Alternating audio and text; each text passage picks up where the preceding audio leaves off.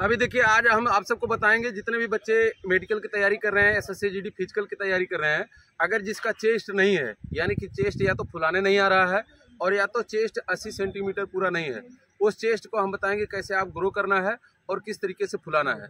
ये बच्चे देखिए सिविल बच्चे हैं, इसकी भी तैयारी हम सब इन बच्चों का भी करा रहे हैं और इन बच्चों को बताते हैं डेली यहाँ का रनिंग भी कराते हैं, इनका चेस्ट वगैरह भी बताते हैं। तो अभी सबसे पहले क्या करना है, इस तरीके से खड़ा हो जाना है और यहाँ पर जिस समय आपका नापेगा सांस पूरा छोड़ देना है। उसके बाद देखने कैसे फुलाते हैं। फिर से देखिए अंदर सांस लेना है चेस्ट को बाहर कर देना है।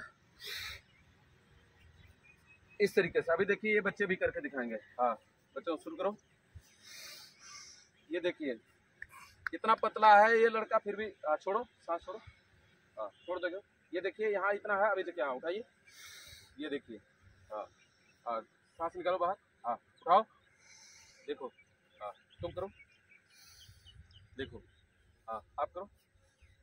ये देखो, इसी तरीके से आपको फुलाना है, इसमें कुछ नहीं है। और अगर आपका जो है चेस्ट कम है तो उसका अलग से हम कल वीडियो दे देंगे और कैसे आपको ग्रो करना है। तो इस तरीके से जब ये बच्चे, इतने पतले पतले बच्चे, देखिए, इनका बिल्कुल भी चेस्ट नहीं है, फिर भी ये अपना चेस्ट फुला दे रहे हैं तो आप क्यों नहीं कर सकते हो? तो जहाँ चाह है, वहीं रहा है। जय हिंद, जय भारत।